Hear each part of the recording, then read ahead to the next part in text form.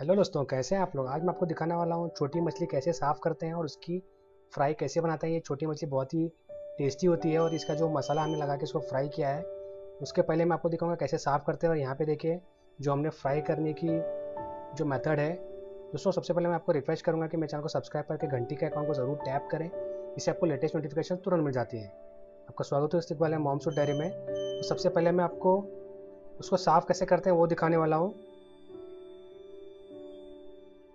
यहाँ पे देखिए, ये इस फ़िश को नंदन फ़िश बोलते हैं। यहाँ सबसे पहले हम इसको साफ़ कर लेंगे, उसके बाद में मैं आपको उसकी कम्प्लीटली रेसिपी भी दिखाऊँगा। तो छोटी मछली जो होती है, बहुत ही टेस्टी होती है, और ये जो खासकर मछली है, इसका टेस्ट बहुत अच्छा होता है। इसको आप पहले से, इससे, इस तरीके से, इसके ऊपर जो स्केल्स होते हैं, वो हम निकाल लेंगे नाइफ से, और उसके बाद इसके फिन्स निकालेंगे। दोनों साइड इसके फिन्स होते हैं। मैं आपको कम्प्लीटली दिखाने वाला हूँ, बहुत ही आसान है। आप कर सकते हैं घर पर ही और ये बना सकते हैं फ़िश की रेसिपी भी। ये कंप्लीट वीडियो है जिसमें आपको मैं फ़िश साफ़ करने का और फ़िश की रेसिपी भी बताने वाला हूँ। तो यहाँ पे देखिए हमने दोनों फिन्स से कट कर लिए हैं। इसकी हम जो टेल है, यानी कि जो दुम है, वो भी हम कट करेंगे। एंड में मैं दिखाऊँगा वो आपको। उसके पहले हमने यहाँ पे इसके फिन्स निकालने के बाद इसको ऊपर से क्रॉस कट करना है। जो हमने, जो इसका हेड होता है, वो भी हम निकालेंगे। यहाँ पे देखिए, इस तरीके से, इस तरीके से ऐसा कट हम मारेंगे इसको। यहाँ पे। कट करने के बाद वो फेंक देंगे और ये जो हो गई, तैयार हो रही है हमारी मछली, यहाँ पे देखिए इस तरीके से। हमने इसके फिन्स निकाल लिए थे पहले और यहाँ पे इसके अंदर ज़्यादा कुछ रहता नहीं है निकालने जैसा। तो फिर भी हम इस तरीके से इसको जो भी है रहता है वो निकाल लेंगे एक नाइफ के मदद से। तो ये जस्ट मैं इसको कट और करने का तरीका आपको बता रहा हूँ एंड में हम यहाँ पे इसकी ये जो दुम है, ये कट कर लेंगे इस तरीके से। ऐसे हम इसको कट कर लेंगे। तो ये हमारी फ़िश कम्प्लीटली कट हो गई है और हम इसको एक पतीले में डालने लगेंगे। और यहाँ पे अब आता है इसकी सफ़ाई करने की तरीका। तो हमने इसको सभी मछलियों को हमने कट कर लिया है और इस तरीके से साफ़ कर लिया और इसको आगे साफ़ करने के लिए हम नमक डालेंगे इसमें और इसको थोड़ा रगड़ के इसको धोएँगे ताकि इसमें जो फिर से भी, अगर कोई स्केल्स हैं अगर फ़िश के ऊपर तो वो निकल जाए। इस तरीके से हम उसको थोड़ा सा पानी डाल के इसको साफ़ कर लेंगे। ऐसा हम तीन से चार बार करेंगे तो हर एक पानी के साथ साथ ये फ़िश बहुत ही साफ़ होते जाएगी। मैं आपको दिखाऊँगा आगे। दोस्तों, बहुत ही आसान है ये। इस तरीके से हम इसको थोड़ा हाथ से साफ़ कर लेंगे और ये पानी फेंकेंगे और ऐसे ही करके हम तीन से चार बार इसको कर लेंगे। तो ये हम ऐसे फ़िश फ़िश कलेक्ट करते जाएँगे। यहाँ पे देखिए। इसी तरीके से हम तीन से चार बार करेंगे, उसके बाद ये फ़िश हो जाएगी कम्प्लीटली साफ़ हो जाएगी, मैं आपको दिखाऊँगा। सेम आपको रिपीट करना है, यहाँ पे देखिए। और ये फाइनली हमारी फ़िश तैयार हो चुकी है, साफ़ और क्लीन हो चुकी है, इसको हम हम एक बोल में ट्रांसफ़र कर लेंगे। और अब मैं आपको बताऊँगा इसके आगे के इंग्रेडिएंट्स क्या क्या लगते हैं इस फ्राई की रेसिपी में। दोस्तों, ये बहुत टेस्टी फ़िश होती है। इसको नंदन फ़िश भी बोलते हैं और जो छोटी फ़िश कोई भी छोटी फ़िश हो, आप इसी तरीके से साफ़ कर सकते हैं। हमने एक पैन गर्म कर लिया है और यहाँ पे डालेंगे हम तीन टेबल स्पून तेल। हम इसको डीप फ्राई नहीं करेंगे, हम इसको शैलो फ्राई करेंगे और हम इसको गर्म होने के लिए अच्छी तरीके से रख देंगे। तब तक बाकी के हम जो मसाला है उसमें ऐड कर लेंगे। फ़िश में जो हमने फ़िश को एक बोल में कलेक्ट करके यहाँ पे हमने डाला है नमक स्वाद अनुसार।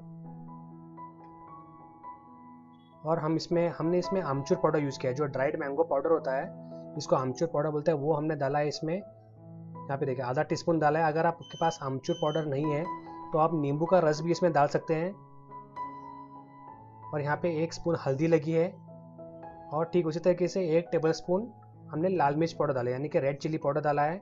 आज हम बनाने वाले हैं फ़िश फ्राई जो छोटी फ़िश होती है, उसको साफ़ करने का तरीका मैंने आपको बता दिया। तो अब हम इसको आगे की जो रेसिपी की तैयारी कर रहे हैं, यहाँ पे इसको हम अब मिक्स करेंगे अच्छी तरीके से ताकि हर एक मसाला जो है फ़िश को लग जाए। और यहाँ पे देखिए हमने एक एक टीस्पून जिंजर और गार्लिक पेस्ट डाला यानी कि अदरक और लहसुन का पेस्ट एक स्पून नहीं से थोड़ा ज़्यादा हम यहाँ पे, दोस्तों ये ज़रूर ध्यान में रखेगा अदरक और लहसुन का पेस्ट वन टीस्पून ईच डालना है आपको। तो हमने सभी चीज़ें ऐड होने के बाद हाथ से उसको अच्छी तरीके से मिक्स कर लेंगे ताकि हर एक चीज़ जो है मछली में हर एक जो मसाला हमने ऐड किया है, वो सभी चीज़ उसको लग जाए। ये कम्प्लीटली रेडी हो चुके हैं। यहाँ पे देखिए स्पून से भी थोड़ा हम इसको कर सकते हैं। तो ये हो चुकी है रेडी अब हम उसको फ़िश को ऐड करेंगे हमारे पैन में, जो कि पैन हमारा बहुत ही अच्छी तरीके से गर्म हो चुका है। दोस्तों, ये हम डीप फ्राई नहीं करेंगे। इसको हम शैलो फ्राई करेंगे। यहाँ पे देखिए, हमने इस तरीके से इसको डाल दिया है पैन में। पैन में ऐड करते वक्त ये आँच पूरी होगी। इसको ऐड करने के बाद हम उसको अच्छी तरीके से फैला लेंगे पैन में। दोस्तों, हमें नीचे कमेंट में ज़रूर बताया कि आपको कैसी लगी ये वीडियो रेसिपी। ये रेसिपी आपको कैसी लगी, यहाँ पे देखिए एक बार। थोड़ा फैलने के बाद इसको हम ढक कर मीडियम फ्लेम पे दो मिनट पका लेंगे। शुरू के दो मिनट है ये, उसके बाद में मैं आपको आगे का प्रोसेस भी दिखाऊँगा। तो हम इसको ढक कर दो मिनट मीडियम फ्लेम पे पका लेंगे। दोस्तों, ये जो फ़िश होती है, जैसे मैं आपको बता चुका हूँ, इसको नंदन बोलते हैं। आप हमें ज़रूर बताएँ कमेंट्स में, अगर आपको ये फ़िश की कौन सी रेसिपी आप बनाते हैं तो ज़रूर कमेंट कीजिएगा। मुझे यकीन है आपको पसंद आएगी है तो ज़रूर लाइक और अपने फैमिली फ्रेंड के साथ शेयर ज़रूर कीजिएगा। तो यहाँ पे देखिए, इस तरीके से हम इसको हल्के से स्पून से घुमाएँगे। इसको ज़्यादा करने से ये टूट भी सकती है, इसलिए हमें थोड़ा सा इसको यहाँ पे एक मिनट हम पका लेंगे ओपन रख के। और उसके एक बार हम पलटा देने के बाद फिर से ढककर उसको दो मिनट हम पका लेंगे। हम इस तरीके से भी इसको कर सकते हैं ताकि ये हम घुमाने से अच्छा हम इसको, क्योंकि ये टूटने के चांसेस होते हैं तो इसलिए हम इसको बेटर ज़्यादा घुमाएँगे नहीं, चम्मच से। यहाँ पे देखिए, फिर से हमने ढककर उसको और दो मिनट हम रख लेंगे। दोस्तों, ये कम्प्लीटली हम इसको पाँच मिनट पकाएँगे। यहाँ पे देखिए, अब हम इसको पलटा लेंगे। इसको एक बार पलटाने के बाद हम इसको ढककर फाइनली और दो मिनट मीडियम आँच पर पका लेंगे तो ये कम्प्लीटली पक जाएगी। टोटल इसको टाइम पाँच मिनट लगते हैं पकने के लिए। तो और और हमारी जो फ़िश है, वो बिल्कुल ही तैयार हो जाएगी। दोस्तों ये बहुत ही टेस्टी फ़िश है। इसको इस तरीके से फ्राई ज़रूर कीजिएगा। फ्राई और साफ़ भी आसानी से आप कर सकते हैं। जैसे मैंने आपको शुरू में बताया तो मुझे यकीन है आपको ज़रूर पसंद आएगा। जो वीडियो है तो इसको लाइक ज़रूर करें और अपने फैमिली फ्रेंड के साथ शेयर करें। और बंद कर देंगे। एक बार होने के बाद। इसको अब हम निकालेंगे प्लेट में सर्व करने के लिए। तो ज़रूर ट्राई कीजिएगा इस फ़िश की रेसिपी को, छोटी फ़िश है। मैंने पहले जो वीडियो डाला है, उसमें मैंने बड़ी फ़िश कैसे साफ़ करते हैं वो दिखाया था आपको तो वो भी ज़रूर चेकआउट कीजिएगा। ऊपर देखिए उसका लिंक है।